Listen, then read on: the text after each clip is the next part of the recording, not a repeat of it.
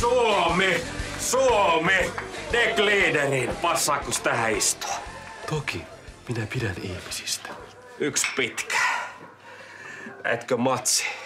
Uskomatonta.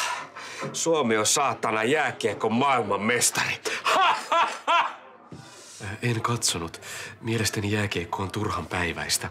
En myöskään pidä siitä kiihko isänmaallisesta junttienergiasta, jota jääkiekon MM-kisat edustavat. Jaha.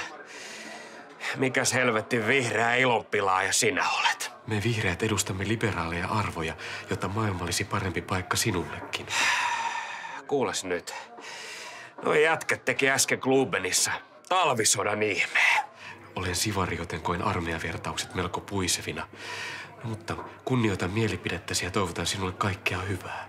Me ollaan ensi viikolla perustamassa poikien kanssa uutta puoluetta SMP Raunioille. Sen nimeksi tulee perussuomalaiset.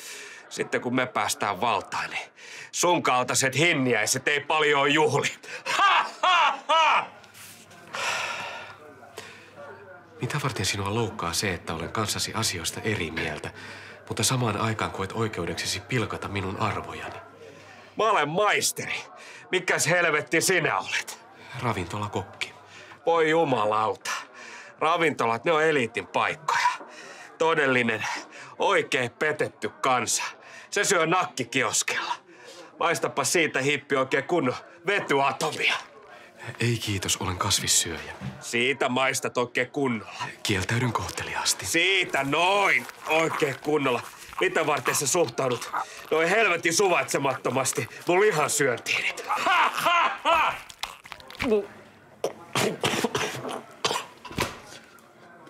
That's it. Tämän minä kostan. Mitäs meinasit tehdä? Vien sinulta kaiken, mitä rakastat. Luen itseni tohtoriksi ja hankin uskottavuutta juntti kannattajasi keskuudessa. Heti kun internet lyö kunnolla läpi, perustan blogin, joka flirttailee rasismin kanssa ja jolle aluksi nauretaan, mutta pikkuhiljaa kannattajasi leiriytyvät minun puolelleni, koska minä huutelen puskista ja lietson epäsopua.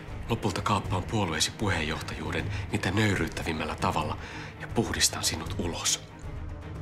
Veikkaanpa kuulee, että me ei enää koskaan tavata. Ha, ha, ha!